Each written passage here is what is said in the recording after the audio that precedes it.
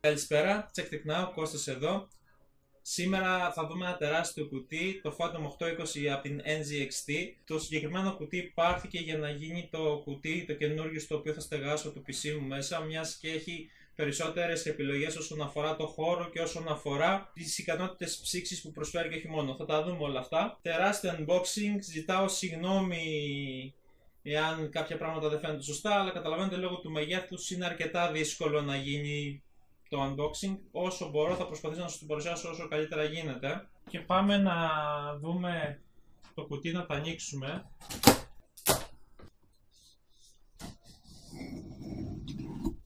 Και το πρώτο πράγμα που βλέπουμε είναι το manual με τις οδηγίες, αρκετά χρήσιμο, αν θέλετε να το διαβάσετε, να δείτε κάποια πράγματα πώς μπαίνουν. Έχει αρκετά εξαρτήματα μέσα, τα οποία το πρώτο πράγμα που βγάζω είναι αυτό εδώ, δείτε κάπως έτσι και έχει ένα κουτί μέσα στο οποίο φαντάζομαι ένα πλαστικό κουτί για να είμαι ακριβής.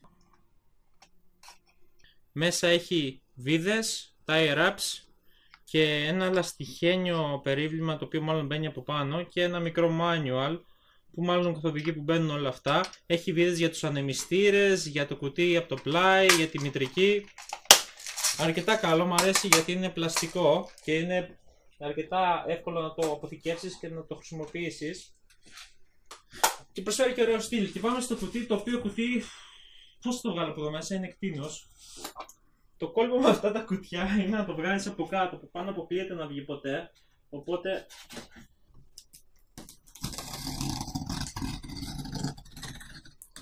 και κάπως έτσι θα αποκαλυφθεί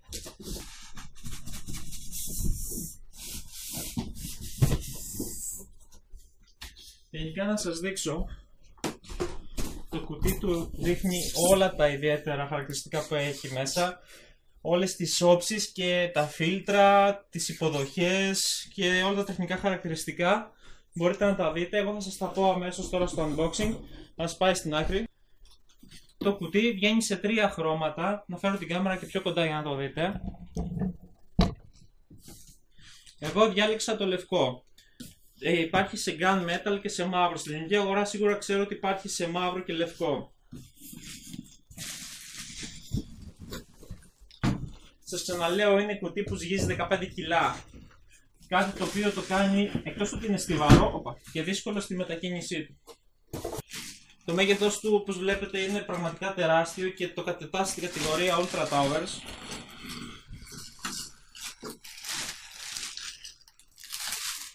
το κουτί είχε μπει από το πλάι, άρα εσείς βλέπετε αυτή τη στιγμή το κάτω μέρος. Μιας που το άνοιξα από εδώ, ας δούμε λίγο τι έχει. Βλέπουμε έχει αυτό το πλαστικό mount, το οποίο το κρατάει σε συγκεκριμένο ύψος από το έδαφος και δύο πλαστικά mounts εδώ, τα οποία το ανυψώνουν και αυτά αρκετά. Από κάτω έχουμε ένα, δύο, δύο φίλτρα τεράστια που καταλαμβάνουν όλη την περιοχή της βάσης, που σημαίνει ότι έχει ε, αγωγή αέρα από το μπάτο του από κάτω προς τα πάνω. Οπότε εμείς μπορούμε, από εδώ μπαίνει το τροφοδοτικό, από εδώ μπορούμε να βάλουμε ανεμιστήρες ώστε να ρουφάνε αέρα από κάτω προς τα πάνω. Θα το στήσω όμως κανονικά να το δούμε πώς είναι η κανονική του όψη.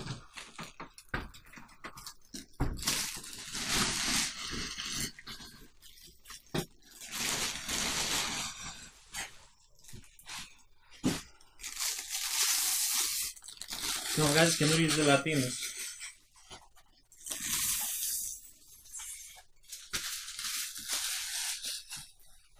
Λοιπόν, εν τω μεταξύ έχει στατικό ηλεκτρισμό. Μόλις το έπιασα με τίναξε. Πάμε να το δούμε κομμάτι-κομμάτι. Ας φέρω καταρχήν το πρώτο πράγμα να δούμε. Το πάνελ μπροστά. Όσο είναι κλειστό βλέπετε είναι πάρα πολύ όμορφη η γραμμή του. Ε, δεν ξεχωρίζει κάτι. Είναι πάρα πολύ εντυπωσιακό. Βλέπετε εδώ μία ρίγα ε, είναι εδώ πέρα μια μαύρη όμορφη ρίγα, πάνω έχει ένα LED. Από όσο ξέρω έχει μέσα δικό του RGB φωτισμό, δηλαδή το κουτί έρχεται με δικό του φωτισμό. Κάτω βλέπουμε τον αεραγωγό από τον οποίο παίρνει αέρα μέσα αν βάλουν οι μυστήρες και ας ανοίξουμε το μπρος πάνελ, πλαστικό, αλλά ανοίγει μέχρι 90 μοίρες, το οποίο εν μέρει θα μπορούσε κάποιος να το πει αρνητικό, το ότι δεν είναι σε μεγαλύτερη γωνία γιατί ίσως να είναι ευαίσθητο. Και έχουμε 1, 2, 3, 4 θύρες στις οποίες μπορούν να βάλουν τριαμισάριδες. Μπορούμε να βάλουμε είτε κάποιο... Εν τω μεταξύ τώρα δεν βλέπετε εμένα αλλά δεν πειράζει.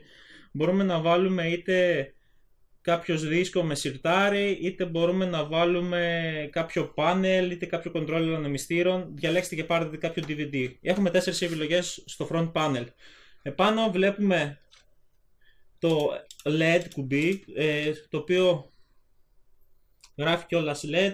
Εδώ πάνω με αυτό γίνεται το άνοιγμα και το κλείσιμο της καλωδιοτενίας που έχει μέσα ε, των φώτων Σας είπα, έχει δικά, δικό του φωτισμό μέσα το κουτί. Δεν χρειάζεται να πάρετε κάποια καλωδιοτενία. Και εδώ πέρα είναι μια ροδέλα η οποία θυμίζει πατημένο κουμπί στρογγυλό στερεοφωνικού το οποίο περιστρέφεται σε διάταξη 360 μοιρών κάνει μια πλήρη περιστροφή και με αυτό από όσο ξέρω είναι το Hue Change με αυτό μάλλον αλλάζει ο φωτισμός έχει διάφορα χρώματα ταινία που έχει μέσα είναι RGB μπροστά έχει αναγνώστη SD και εδώ LED mode βασικά τα δύο σίγουρα αλλάζουν το. ή αλλάζει την ένταση. Εδώ θα σας γελάσω. Σίγουρα το ένα αλλάζει την. Ε, αλλάζει το χρώμα των ε, φώτων. Έχουμε τον αναγνώστη των καρτών. Και άλλο ένα που λέει LED mode, μάλλον αλλάζει το mode του, στο οποίο βρίσκεται η ταινία που έχει μέσα. Phantom 820 γράφει μπροστά, NGXT. Αυτά εδώ είναι αποσπόμενα, βγαίνουν πάρα πολύ εύκολα. Έχω να σας δείξω ένα διακοπτάκι εδώ το οποίο είναι πολύ όμορφο χαρακτηριστικό, δηλαδή τα βάζετε και τα βγάζετε πάρα πολύ εύκολα. Το συγκεκριμένο χαρακτηρίζεται γιατί προσφέρει εργονομία και επιλογές ιδίως στην υδρόψυξη αν εσείς θέλετε να το πειράξετε, αν θέλετε να φτιάξετε δικιά σας υδροψύξεις.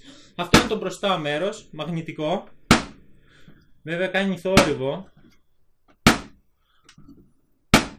Αλλά τουλάχιστον δεν θα ανοίγει από μόνο του, το οποίο είναι καλό, με λίγη προσοχή. Βέβαια θα προτιμούσα να είχε κάποιο λάστιχο να το σταματάει, αλλά εντάξει, θέλει προσοχή, δεν θα ανοίγουμε κάθε τρεις και λίγο. Στο πάνω μέρος, φέρνοντα το πιο κοντά σε εσάς, βλέπουμε το εξής. Έχουμε μια τεράστια γρίλια, η μισή μεταλλική, η μισή πλαστική, από την οποία κυκλοφορεί ελεύθερα ο αέρας. Εδώ μέσα μπορούν να μπουν έως και τρεις ανεμιστήρες, νομίζω 14 αν δεν κάνω λάθος, το δούμε και μέσα το μέγεθος, ή 4 με δική μόντα. Μπορεί να μπει σίγουρα έως τριπλό ψυγείο από την πάνω πλευρά, εννοείται μέσα από το κουτί, και αν από ό,τι έχω διαβάσει με δική μόντα μπορούν να μπουν έως τετραπλό. Τώρα, οπότε αυτό το κομμάτι εδώ είναι αφιερωμένο στον εξαερισμό. Πάμε λίγο πιο κοντά να δούμε τι έχει άλλο. Εδώ πάνω βλέπουμε ότι έχει 1, 2, 3, 4, 5, 6 θύρες USB. 4 USB 2, 2 USB 3 αρκετά χρήσιμο γιατί σου φέρνει μπροστά κατευθείαν ένα mini hub για να το χρησιμοποιείς. Εδώ βλέπουμε ότι υπάρχει ειδικό άνοιγμα στο οποίο μπαίνει εκείνο το μαύρο πλαστικάκι το οποίο υπήρχε μέσα στο κουτί, στο κουτί με τις βίδες προκειμένου να το βάλουμε από πάνω. Και για να σας το δείξω είναι αυτό εδώ, είναι πλαστικό και μπαίνει ακριβώς από πάνω ώστε να σφραγίζει προκειμένου να μην σκονίζονται οι θύρες. Αρκετά πρακτικό, βέβαια τώρα ανάποδα δεν στέκεται καλά, αλλά εάν μπει στην κανονική του θέση θα κάθεται μια χαρά το κουτί. Επίσης από αυτή την πλευρά βλέπουμε μια λωρίδα, η οποία λωρίδα φωτίζεται και εδώ πέρα βλέπουμε τα πλήκτρα για τους ανεμιστήρες. Είναι fan controller μέσα, έχει ένα δικό του σύστημα στο οποίο συνδέει τους ανεμιστήρες και μπορείς να ρυθμίζεις την ένταση των ανεμιστήρων από αυτό εδώ. Το reset button και το power button και δύο υποδοχές, μία για τα ακουστικά και μία για το μικρόφωνο που μπορείς να βάλεις μπροστά. Αρκετά πρακτικό, καθαρό, όμορφο το στυλ και γραμμή και περάσουμε και στις υπόλοιπες πλευρές να τις δούμε. Το δεξί πάνελ είναι πεντακάθαρο, δίνει όπως βλέπετε εδώ μια όμορφη υποδοχή, προεξέχει λίγο, αν το δείτε από το πλάι, βγαίνει προς τα έξω γύρω στο 1,5 με 2 εκατοστά, που σημαίνει ότι έχεις περισσότερο χώρο για να κάνεις cable management, οπότε δεν θα στριμώχνονται τα καλώδια εδώ μέσα, το οποίο το θεωρώ αρκετά θετικό και καλό. Ας περάσουμε στην πίσω πλευρά, θα πάρουμε πλευρά-πλευρά σας είπα, να δούμε τι έχει. Εδώ πίσω βλέπουμε μια τεράστια γρίλια στην οποία μπαίνει είτε 14 ανεμιστήρες είτε 2 δωδεκάριδες ρυθμίζονται πλήρως. Μπορούμε να βάλουμε υδρόψυξη ψυγείο πίσω, ό,τι θέλουμε. Έχουμε ένα, 2, 3, 4 λάστιχα υποδοχές. Υποδοχές βασικά καλυμμένες με λάστιχο προκειμένου να φτιαχτούν, να περάσουν σωλήνες για ψυγείο υδρόψυξης. Έχουμε φίλτρο ανεμιστήρα για τον ανεμιστήρα του τροφοδοτικού. Εδώ κάτω μπαίνει το τροφοδοτικό. 1, 2, 3, 4, 5, 6, 7, 8, 9 υποδοχές πίσω για τις εξόδους καρτών και όχι μόνο πάνω από τη μητρική. Εδώ πέρα βγαίνει το backplate της μητρικής. Όμορφες γραμμές. Οι βίδες είναι χειρόβιδες. Βέβαια η αλήθεια είναι ότι πρεσαρισμένες πάρα πολύ καλά. Και από όσο ξέρω, να δούμε, βγαίνουν, βγαίνουν. Οπότε θέλει ιδιαίτερη προσοχή για να μην χαθούν οι συγκεκριμένες. Στο σύνολο τρεις βίδες συγκρατούν το πλαϊνό. Αυτές εδώ οι τρεις. Και πάμε να περάσουμε στο χρήσιμο πλαϊνό το οποίο και θα δούμε. Έχουμε μία, δύο, τρεις υποδοχές. Η μία προστατεύεται με τζάμι. Βασικά το συγκεκριμένο είναι πλαστικό plexiglass και έχουμε μία-δύο θύρες από τις τρεις, τις οποίες είναι θύρες εξαρισμού. Αυτή δεν είναι εντελώς κενή. Σε αυτήν υπάρχει ένας ε, ανεμιστήρας από την ε, πλευρά. Πάμε να το δούμε. Η αλήθεια είναι ότι έτσι όπως κάθεται, εάν εσείς δεν το βιδώσετε δεν στέκεται. Οπότε, όπως βλέπετε, χρειάζεται τη βίδα από πίσω. Και περνώντας το πάνελ αυτό καθεαυτό να το δούμε είναι αρκετά βαρύ και το βάρος το προσδίδει ο ανεμιστήρας είναι ένας στρογγυλός, που βλέπετε εδώ πέρα, της NGXT, 20 ανεμιστήρας, λευκός μέσα, με μαύρο περίβλημα. Είναι ικανός να τραβάει αρκετά μεγάλη ποσότητα αέρα από το πλάι και να το σπρώχνει μέσα στο κουτί. Σας ξαναλέω, το κουτί είναι τεράστιο και προσφέρει άπειρες επιλογές εξαιρισμού. Πάμε να δούμε μέσα από αυτή την πλευρά τι έχει το κουτί. Θα σας δείξω και από την άλλη. Θα βγάλουμε και το πίσω πάνελ. Αλλά ας δούμε από την μπροστά πλευρά τι έχει. Καταρχήν, βλέπουμε εδώ από το πλάι τα bracket, τα οποία είναι αρκετά εντυπωσιακά μπορώ να πω. Πρώτη φορά βλέπω τέτοιο σύστημα ασφάλισης δίσκων και DVD και πάνελ από εδώ από το πλάι. Είναι τα τέσσερα που σας έδειξα στο πλάι. Ε, τώρα, εδώ πέρα βλέπουμε τις θήκες για τους σκληρούς. Έχει, ελπίζω να βγαίνει εύκολα, λοιπόν είναι σιρταράκι. Από κάτω μπαίνουν ένας, δύο, τρία μισάρδες, τους βλέπετε κι εσείς. Και μπαίνουν άλλοι τρεις τριαμισάρδες, δηλαδή στην ουσία εμείς έχουμε επιλογή για 5 τριαμισάριδες δίσκους. Σίγουρα σε αυτό μπορούμε να βάλουμε και τους SSD μας μέσα. Το bracket, ο καθένας έχει αυτό εδώ το bracket. Όπως βλέπετε μπορεί να μπει ένας τριαμισάρης ή στην κάτω πλευρά, βλέπετε εδώ αυτά τα τέσσερα βιδάκια, ε, έχει σχεδιαστεί για να βιδώνει SSD. Κάτι το οποίο, κάτι το οποίο του προσδίδει μεγάλη ε, ευελιξία και μπορούμε να το κάνουμε όπως θέλουμε. Μπορούμε να βάλουμε όσες επιλογές και συνδυασμούς δίσκων θέλουμε εμείς. Είτε 6 κανονικούς HDD, είτε να βάλουμε 6 SSD που θέλουμε εμείς. Η αλήθεια είναι ότι είναι αρκετά ευαίσθητο το πλαστικό, βλέπετε είναι πολύ εύκολο να σπάσει, δηλαδή ζουλιέται. Αλλά εντάξει, βέβαια για το κόστο τη τιμή, αν και το σχέδιο είναι ωραίο, θα περίμενα κάτι ακόμα περισσότερο καλό σε αντοχή και σε υλικά. Αλλά τουλάχιστον ελπίζω να είναι πρακτικό. Το κουτί αυτό έχει εξυμνηθεί τουλάχιστον για τις επιλογές που προσφέρει στην υδρόψυξη.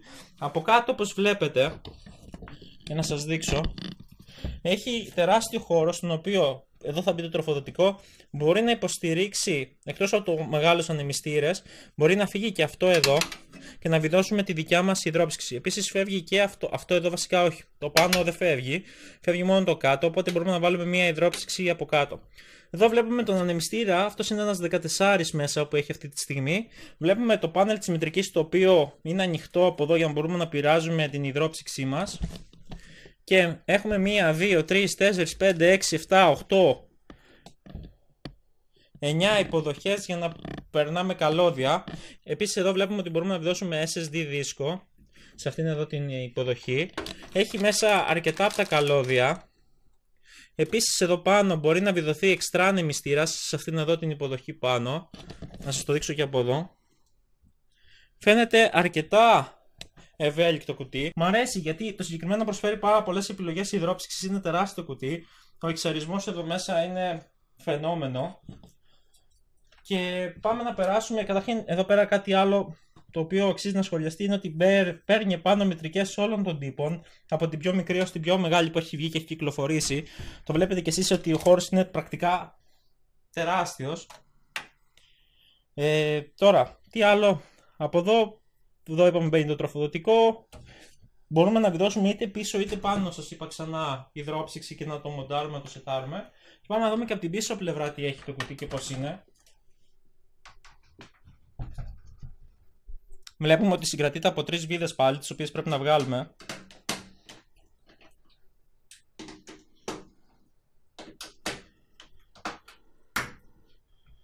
Η αλήθεια είναι ότι ο σχεδιασμός του κουτιού είναι ιδιαίτερα παλιός. Είναι σίγουρα κουτί μοντέλο τριετίας, τετραετίας. Η τιμή του είναι αρκετά τσιμπημένη, θα έλεγα. Και εγώ το αγόρασα με έκπτωση. Ιδάλλως δύσκολα θα έδινα τα χρήματα που ζητάει. Αλλά η αλήθεια είναι ότι σε ένα τέτοιο κουτί, βασικά αυτό το κουτί είναι ένα κουτί το οποίο απευθύνεται σε ένα συγκεκριμένο κοινό. Το κοινό του κουτιού αυτού είναι κυρίως modders και άτομα τα οποία θέλουν να κάνουν δουλειά με υδρόψυξη και κυρίως custom υδροψύξεις. Όχι ότι δεν υπάρχουν και άλλες επιλογές. Το πίσω πάνελ είναι λίγο ιδιαίτερο στο να βγει. Και βλέπουμε, και βλέπετε κι εσείς, το πίσω μέρος, το οποίο είναι αρκετά ιδιαίτερο. Βλέπουμε εδώ τα bracket όλα υπάρχουν μέσα για τους δίσκους. Διάλεξα αυτό το κουτί για δύο λόγους, ξαναλέω. Ο πρώτος λόγος είναι ο τεράστιος χώρος του εξαρισμού, ώστε εγώ να μπορώ να μετακινήσω την υδρόψυξη, γιατί στο κουτί που είχα ήδη τη αέροκουλ είναι το κουτί το οποίο κατέχω, η υδρόψυξή μου έμπαινε από την πίσω πλευρά με αποτέλεσμα να κλείνει όλους τους ε, αερογωγούς, όλες τις διόδους αέρα για, τα... για τη VRAM πάνω από την ε, μητρική μου. Η μητρική μου είναι η Asus, η Cybertooth, η R2 για τον 8350. Όσοι ξέρουν από τη συγκεκριμένη μητρική γνωρίζουν ότι υπάρχει πρόβλημα με τη VRAM όταν και πεθαρμένεται πάρα πολύ. Οπότε θεώρησα ότι θα αγόραζα και όπως και πήρα αυτό το κουτί προκειμένου να αλλάξω λίγο το setup της υδρόψυξης και να τοποθετήσω την υδρόψυξή μου σε άλλο σημείο ώστε να υπάρχει καλύτερη ροή αέρα και να αερίζεται και η μητρική και, ο σκληρό, και η σκληρή μου και όλο το σύστημα καλά. Επίσης ένας άλλος λόγος είναι αυτό εδώ. Θεώρησα πολύ όμορφο το σύστημα το οποίο μου δίνει επιλογές να βάλω όσους δίσκους θέλω. Έως σας είπα συγκεκριμένα μπορώ να βάλω 2 και 4-6 δίσκους το οποίο όπως βλέπετε και εσείς είναι αρκετά έξυπνο σύστημα. Επίσης υπάρχει ένας ανεμιστήρας μπροστά από αυτό το bracket εδώ. Αλλά σας ξαναλέω, έχω δει σε βίντεο, σε άλλα βίντεο στα οποία αυτό εδώ μπορεί να βγει. Σας ξαναλέω, εδώ είναι πατικωμένο με πυρτσίνια επάνω και πρέπει να τα σπάσετε για να μπορέσετε να το βγάλετε και ίσως να βάλετε βίδες για να το κρατήσετε, εάν δεν το θέλετε. Σας ξαναλέω, το καλό με αυτό το κουτί είναι ότι προσφέρει πάρα πολλές επιλογές στο πώς θα το χειριστείς. Εδώ πέρα είναι, δεν έχει κάτι άλλο ιδιαίτερο χαρακτηριστικό. Βλέπουμε όμως, όπως βλέπετε υπάρχουν αρκετά καλώδια. Τι είναι όλα αυτά τα καλώδια; Αυτά τα καλώδια λοιπόν, τα περισσότερα είναι για, να, για το σύστημα φωτισμού. Σας είπα έχει το δικό του δαχτυλίδι. Θα το δούμε κιόλας μέσα, αν φαίνεται. Αν μπορούμε να το δούμε, θα σας το δείξω λίγο σε λίγο. Είναι κυρίως από την μπροστά πλευρά που το ξέχασα πριν. Έχει fan controller όπως είδατε, οπότε κάποια από αυτά τα καλώδια είναι για να συνδέονται πάνω ανεμιστήρες. Η αλήθεια είναι ότι επειδή κουτί είναι τουλάχιστον τριετία σίγουρα σχεδιασμός του, δεν έχει fan controller για τετράπινους ανεμιστήρες. Εγώ συγκεκριμένα χρησιμοποιώ τη Noctua τετράπινους ανεμιστήρες, που σημαίνει ότι δεν θα το χρειαστώ το συγκεκριμένο feature, οπότε θα βάλω το δικό μου mount, το δικό μου bracket μπροστά, και το, το οποίο είναι fan controller και χειρίζεται όλους τους ανεμιστήρες μου. Επίσης, ένα άλλο χαρακτηριστικό όπως είδατε είναι τεράστιο το κουτί. Όσοι ξέρετε από μεγάλα κουτιά, το πρόβλημα είναι πώς εγώ θα τραβήξω, θα φτάσει το καλώδιο του τροφοδοτικού το οποίο είναι από κάτω να δώσει ρεύμα πάνω στη μητρική. Γι' αυτό υπάρχει αυτό εδώ, είναι ένα extender, το βλέπετε βγαίνει, είναι με τα αερά πάνω συνδεδεμένο.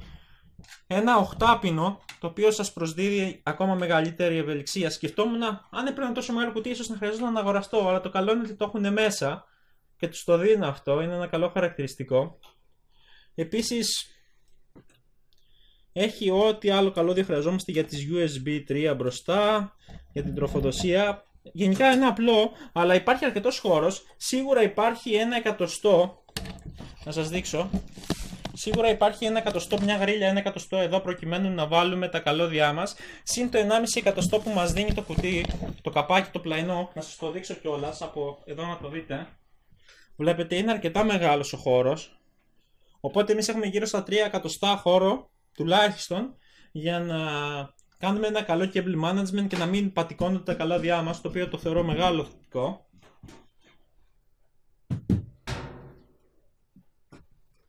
Και εντάξει δεν έχει κάτι άλλο το ιδιαίτερο. Το πίσω χαρακτηρίζεται σας ξαναλέω για αυτό το πράγμα. Για την αυτονομία που έχει στο ό,τι αφορά τους δίσκους το cable management, τα όμορφα χαρακτηριστικά σχετικά με την ε, αυτονομία και την εργονομία των καλωδίων του. Να σας δείξω κιόλας, κατάφερα να το ανοίξω. Δεν είναι κάτι ιδιαίτερα δύσκολο. Βγαίνει και όλα τα κομμάτια ξεσυναρμολογούνται. Έβγαλα τα από πάνω. Εδώ είναι ο ανεμιστήρα ο οποίος έχει το δικό του φίλτρο, πανέμορφο φίλτρο. Βιδωμένο επάνω, βγαίνει σίγουρα. Εδώ πέρα βλέπουμε ότι υπάρχει θέση για φίλτρο Βγαίνει προφανώς αν θέλετε να βάλετε υδρόψυξη. Εννοείται ότι αν θέλετε να το πειράξετε πρέπει να το ξεκουμπώσετε από όλες τις πλευρές.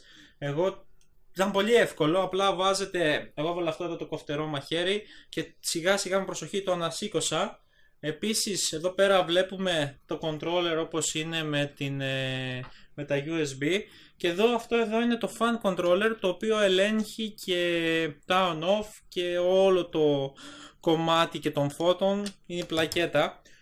Καλό θα ήταν αυτό να μην το πολυπειράζουμε, βλέπετε είναι όλα κουμπωμένα επάνω. Εάν εσείς δεν θέλετε ψάξτε να βρείτε τι οδηγεί σε τι, ποια είναι τα, τα καλώδια των ανεμιστήρων, ποια είναι τα καλώδια οτιδήποτε, τα βγάζετε, αλλά δεν θα το συνιστούσα να το πειράξετε.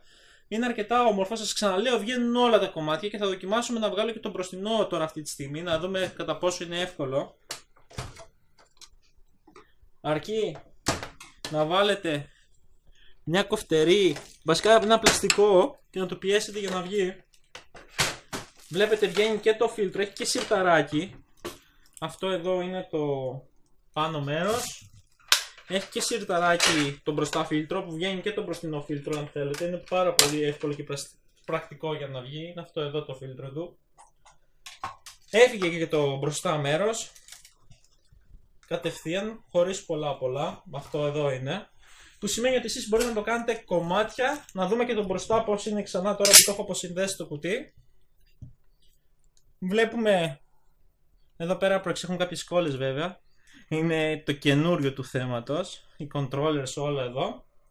Οπότε εδώ βλέπουμε τη λιχνία που δίνει σήμα ότι ο υπολογιστής μας δουλεύει. Ξαναβλέπουμε τον αυξομοιωτή της έντασης και των εναλλαγών του φωτός που έχει η μπάρα μας. Εδώ βλέπουμε άλλη μια λιχνία η οποία φαντάζομαι έχει να κάνει με το είτε με τις θύρες USB είτε με το σκληρό δίσκο που δουλεύει μέσα. Ο ανεμιστήρας σας ξαναείπα έχει μέσα άλλο ένα εικοσάρι. Συνολικά έρχεται με τρεις εικοσάριδες, έναν από τα πλάγια, έναν από πάνω, ένα από μπροστά και έναν 14 στην πίσω πλευρά, τέσσερις ανεμιστήρες το συνοδεύουν. Όμορφο, ρομπάστ. Είναι πάρα πολύ ωραίο. Βασικά να σας πω την αλήθεια, πιο πολύ μου αρέσει έτσι όπως είναι άκοπο, ανοιχτό από παντού, αλλά εντάξει, σίγουρα θα φτιαχτεί, θα συναρμολογηθεί. Σας ξαναλέω, εάν θέλετε να το πειράξετε, πρέπει να το συναρμολογήσετε ολόκληρο, όπως και εγώ αυτή τη στιγμή, και να μπορέσετε να το πειράξετε όπως εσείς θέλετε. Λοιπόν, και να σας δείξω τώρα και τα LED. Τα συγκεκριμένα όπως βλέπετε είναι 1, 2, 3, 4, 5 λεντάκια πάνω σε ένα μεταλλικό, μεταλλικό όντως, ε, μια μεταλλική μπάρα τα οποία βγαίνουν είναι αρκετά καλό feature βέβαια η αλήθεια είναι θα ήθελα μια full RGB ταινία αυτά παίρνουν διάφορα χρώματα και μπορείτε να το ρυθμίσετε εσείς στην ένταση του φωτός που θέλετε εδώ μέσα τα καλώδια επίσης να δούμε όλα είναι λίγο ψιλοχήμα, θέλει φτιάξιμο. Όπως καταλαβαίνετε αυτό το κουτί έχει άπειρες επιλογές για μόντες. Το χαρακτηριστικό του ξαναλέω πέρα από τους τεράστιους χώρους είναι ότι έχει τεράστιες υποδοχές για να βάλουμε υδροψύξεις είτε πάνω είτε στην κάτω πλευρά του κουτιού εδώ μέσα. Επίσης ένα άλλο ωραίο χαρακτηριστικό το οποίο δεν σας το έδειξα.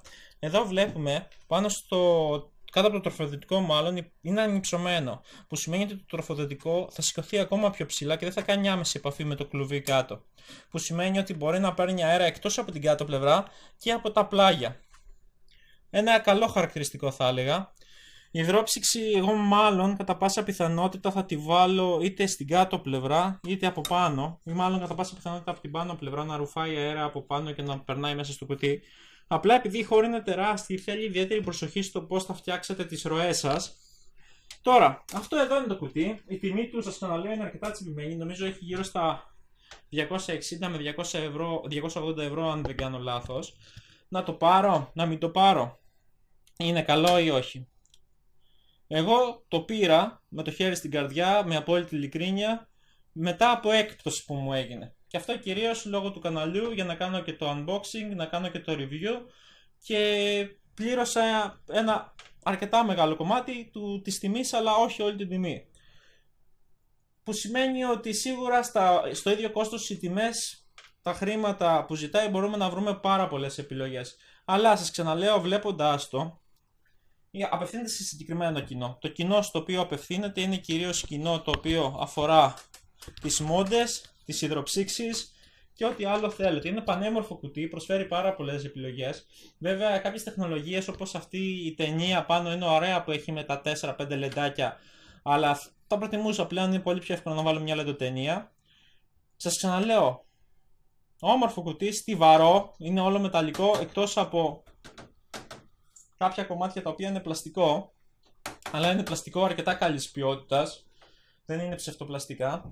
Αυτό εδώ ήταν το Phantom 820, δεν ξέρω κατά πόσο έχει παρουσιαστεί στην ελληνική κοινότητα του YouTube το συγκεκριμένο. Ίσως να είναι το πρώτο βίντεο unboxing, δεν ξέρω, τσεκάρετε δείτε αν υπάρχουν και άλλα. Στο εξωτερικό, για μια περίοδο τον είχε πρωτοβγεί, γινόταν χαμός με το συγκεκριμένο κουτί. Όλοι είχαν ενθουσιαστεί για τις επιλογές που προσέφερε. Και όντως μπορώ να καταλάβω για ποιο λόγο είχαν χαρεί. Ο σχεδιασμός του είναι πανέμορφος, η εργονομία του τεράστια. Να μην σας τρώω άλλο το χρόνο. Check Tech Now. Ελπίζω να απολαύσατε το unboxing. Α, επίσης κάτι ωραίο το οποίο τώρα πρόσεξα καθώς χτυπάει το φως. Εδώ πέρα έχει τυπωμένο μέσα και δεν ξέρω κατά πόσο μπορεί να το δείτε. Ε, χαραγμένο μάλλον να το θέσω και σωστά, να φέρω και το φως να χτυπήσει ίσως για να μπορέσετε να το δείτε. Ε, κάποια γράμματα. Έχει, υποστηρίζει τις μητρικές γράφει πάνω, ATX, Micro ATX, Mini ATX, Flex ATX, SSI SEB και SSI EEB. Προφανώς όλα αυτά είναι οι τύποι των μητρικών που υποστηρίζει. Σας είπα και πριν, οποιαδήποτε γνωστή μητρική την υποστηρίζει και μπορεί να την ε, δεχθεί. Check Tech Now, Κώστας εδώ. Να ευχαριστήσω και τον αδερφό μου τον Παρασκευό, ο οποίος τόση ώρα κρατάει εν δυνάμει την κάμερα κάποιες φορές στα γυρίσματα και εκτός από αυτό με βοηθάει σήμερα που του το ζήτησα. Βλέπετε εδώ και το χέρι του να προεξέχει με το κινητό. Λοιπόν, Κώστας και Παρασκευάς λοιπόν σε αυτό το unboxing. Ελπίζω να έχετε μια όμορφη μέρα. Εμένα δεν με πολύ είδατε, αλλά το συγκεκριμένο unboxing αφορά το κουτί και όχι εμένα. Ελπίζω να σας άρεσε. Αν το προτιμήσετε ή όχι είναι σε εσάς. Σας ξαναλέω είναι αρκετά τσιμπημένο κουτί, αλλά όσο το βλέπω τόσο το ερωτεύομαι μπορώ να πω την αλήθεια.